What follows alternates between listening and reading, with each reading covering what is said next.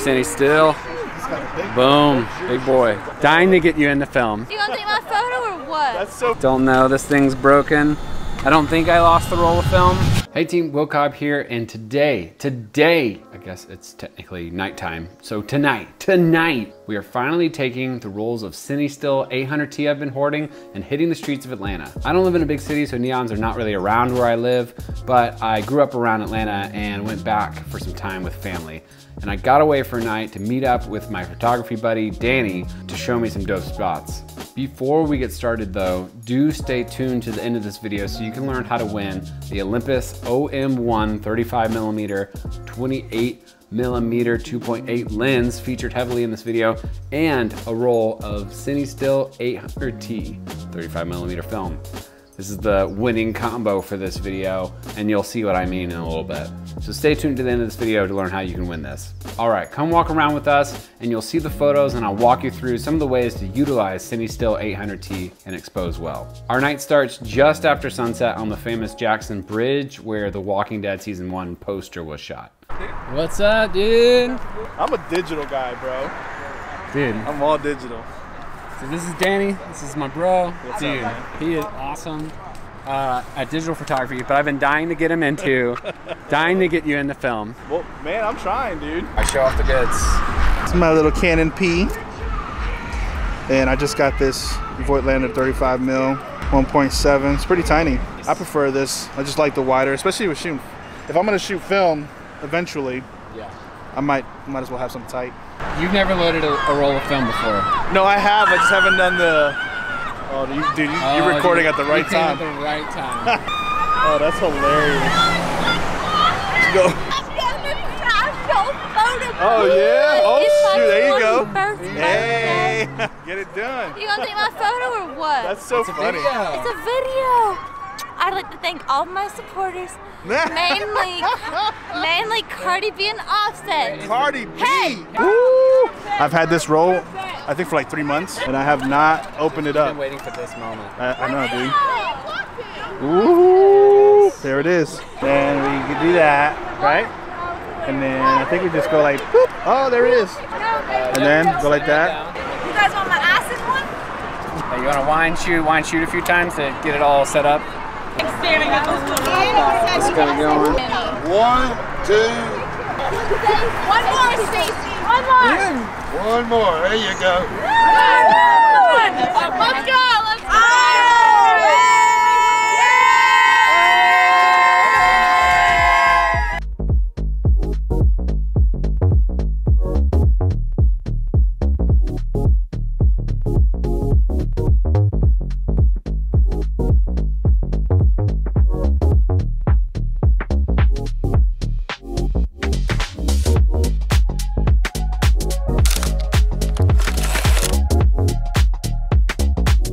to do F4, 20 seconds to get these light streaks from these cars.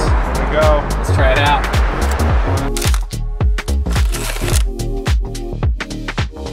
So one great thing about CineStill 800T is that it is so light sensitive and you can get faster shutter speeds when it's fairly dark outside. A lot of the shots in this video, even though it was super dark, were around a fourth of a second. But the shots on the Jackson Bridge, we wanted to get those light streaks from the cars driving down the highway, so we let the shutter stay open for a good amount of time to get those light streaking. The trick to do this with good exposure at those longer shutter speeds is to stop down to something like f16, f18. I was able to stop down to f22. Once I knew my ASA, I knew my f-stop, it was easy to dial in my shutter speed using the Lumu app. I've said this in a few videos, but I've never trusted old camera light meters, especially at low light. I metered the shadows, but not the complete blacks, more so where the shadows and the light was dark, but not completely black. And I think I got some great results. We're shooting Atlanta today uh, on CineStill 800T. We both haven't shot this before. Danny's new to film photography. And uh, our- we're also don't know anything about night film photography either. Yep. So we're literally winging it. Uh, watch some videos. feel like we're masters now. We're gonna see. So we're gonna try to find some sweet spots in Atlanta. Obviously, we shot the Jackson Bridge, so try to shoot some more spots, and then some also doesn't have to be fancy shots. We can get some crazy stuff. You think this is kind of interesting? Yeah, I think anything's interesting at night. I think the lighting is. Boom. Yeah. So I've got my exposure here. So are you gonna do wide open? No, I want to say like maybe F4. All right, I think F4 is safe for this because you can get a little more in focus. So this is saying 0.8 of the second. 0.8. Uh, so I mean, I'd probably go a second just to be safe, but that's for a general. If I point, if I push in here and kind of get like a mid tone, yeah, I would do a second. Yeah, that's gonna be the hard part, trying to hit the, So I gotta bring the this bikes. down. Try to get low, see if this looks any good.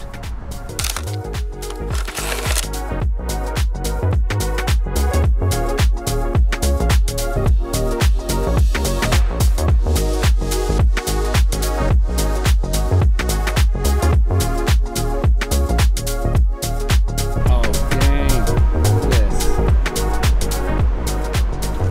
dropped this guy on the nice concrete after I shot a shot of the Westin. Um, this thing's spinning, so there's something mechanically wrong. The battery works.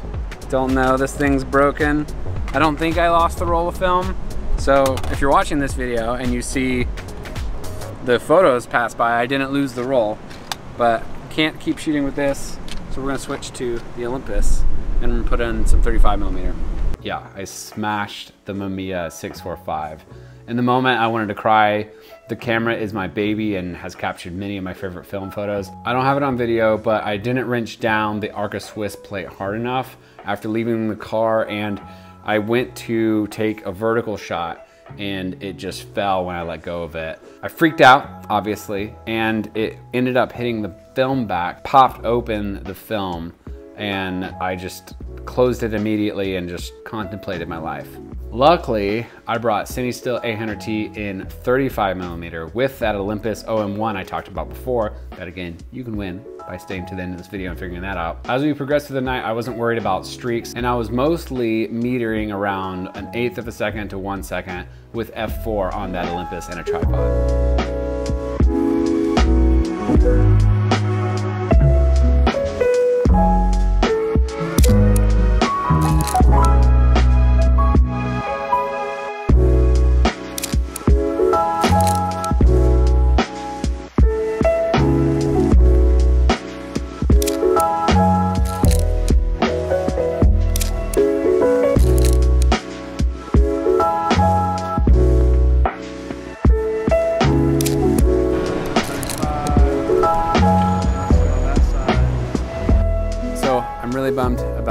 my camera being broken.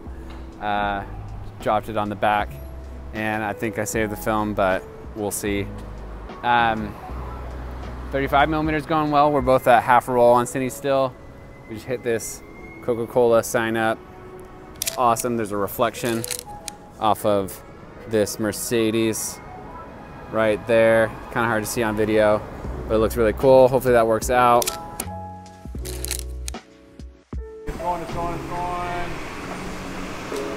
Cool. Nice.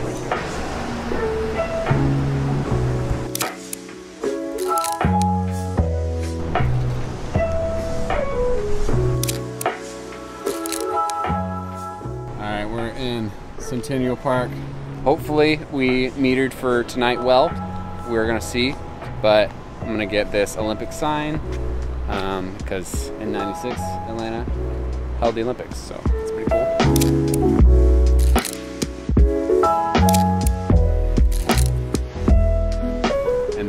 Obviously I'm gonna nail this Ferris wheel. So let's meter correctly.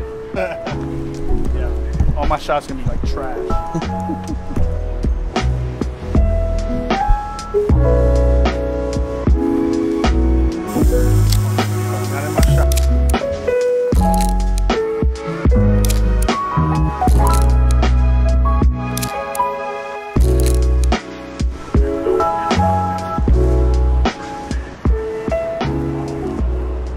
So after that shoot, days later, uh, it was Savannah and I's anniversary, and we decided to stay at the Westin, one of those tall buildings and the top floor that has been featured in a lot of these photos. It has always been like a dream of mine to stay up there, but it's super crazy expensive. But with COVID and all this stuff, the prices have actually been like way cheaper. So we did it. I was able to dissect the Mamiya and get it working. I opened it up and it was freaking scary to look at all the parts inside of there. But I was able to like fire the shutter and tape down the film back closed. So it ended up getting some light streaks in some of the photos I got, but when we were inside of the hotel, it wasn't too bright and the light didn't affect the CineStill that uh, we were shooting from inside the hotel. And the photos, it was worth fixing that camera. They're awesome. I just wanted to get this awesome skyline view. You can see Atlanta that way. We don't have the best view of it, but I'm gonna get some cool images of that with CineStill and some of Portrait too. So it's gonna be awesome.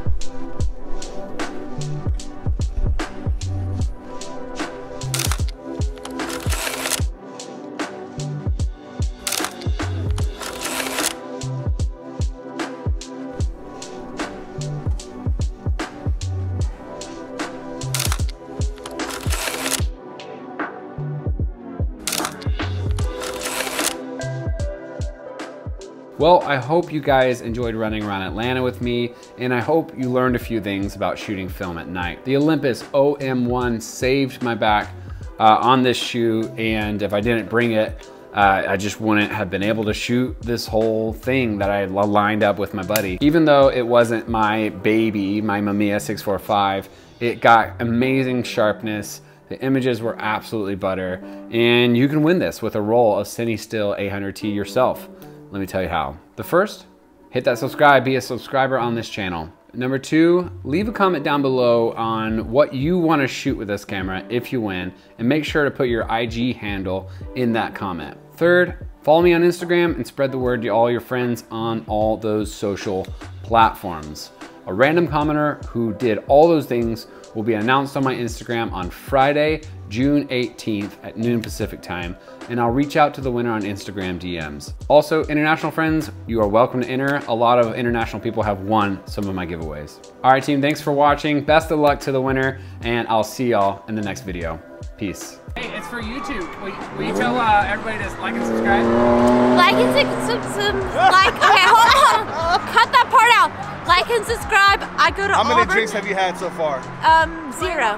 Zero. Get out of here. I smell that thing in the air. I know. It's probably the um, Camel Crush you smell. I go to Auburn, Alabama, and I'm Oh, a Sigma. Kappa. Rush Sigma Kappa, baby.